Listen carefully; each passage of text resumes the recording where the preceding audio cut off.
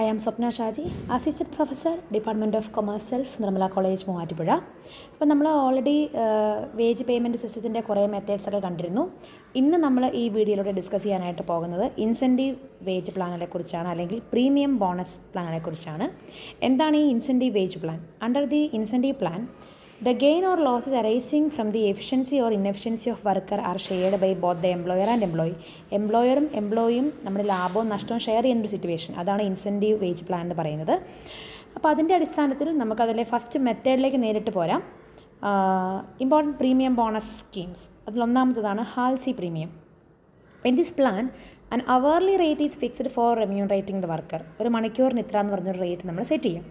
A standard time is also fixed for each job expressed in hours of work എന്നിട്ട് ഒരു standard ടൈമും നമ്മൾ set ചെയ്യും.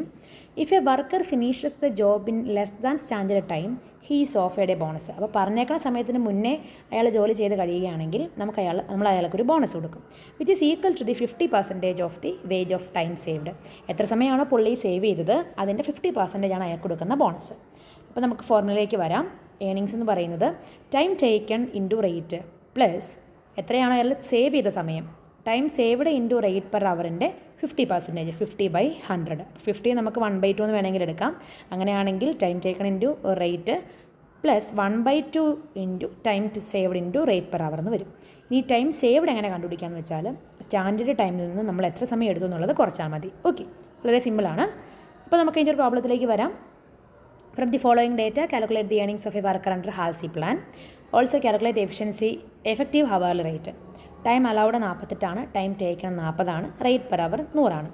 അപ്പോൾ നമ്മൾ നമ്മുടെ ഫോർമുല എഴുതി earnings time taken into rate into one by two fifty by ഹൺഡ്രഡിനെ one by two എന്നാക്കിയേക്കുന്നു കേട്ടോ. Into time saved into rate അപ്പോൾ നമുക്ക് ആദ്യം ടൈം സേവ്ഡ് എന്ന് കണ്ടുപിടിക്കാം. ടൈം സേവ്ഡ് കണ്ടുപിടിക്കാനായിട്ട് standard time minus time taken. അപ്പോൾ സ്റ്റാൻഡേർഡ് ടൈം നാൽപ്പത്തെട്ട് മണിക്കൂറാണ്. നമ്മൾ എടുത്തേക്കുന്ന സമയം നാൽപ്പത് മണിക്കൂറാണ്. അപ്പോൾ നാൽപ്പത്തെട്ട് മൈനസ് നാൽപ്പത് എട്ട് മണിക്കൂർ. ഏണിങ്സ് എന്ന് പറയുമ്പോൾ ടൈം ടേക്കൺ ഇന്റു റേറ്റ്. നാൽപ്പത് ഇന്റു നൂറ് രൂപ വെച്ചല്ലേ? അപ്പോൾ നൂറ് plus one by two into time saved എട്ട് മണിക്കൂർ. എട്ട് ഇന്റു റേറ്റ് നൂറ്. അപ്പം എട്ട് ഇന്റു നൂറ് എണ്ണൂറ് ഇന്റു വൺ ബൈ ടു നാനൂറ് വരും. നാൽപ്പത് ഇന്റു നൂറ് നാലായിരം വരും. അപ്പം നാലായിരം പ്ലസ് നാനൂറ് നാലായിരത്തി നാനൂറ്. ഇനി നമുക്ക് ആ എഫക്റ്റീവ് അവർ റേറ്റും കൂടെ കണ്ടുപിടിക്കാം. അതിന്റെ ഫോർമുല എന്ന് പറയുന്നത് total earnings divide by total time taken ആണ്. അപ്പോൾ ടോട്ടൽ ഏണിങ്സ് നാലായിരത്തി നാനൂറ് അയാൾ മൊത്തം എടുത്തേക്കണ സമയം നാൽപ്പത്. അപ്പോൾ അവർലി റേറ്റ് നൂറ്റിപ്പത്ത് രൂപയാണ് പുള്ളിക്ക് പേയ്മെന്റ് വരുന്നത്.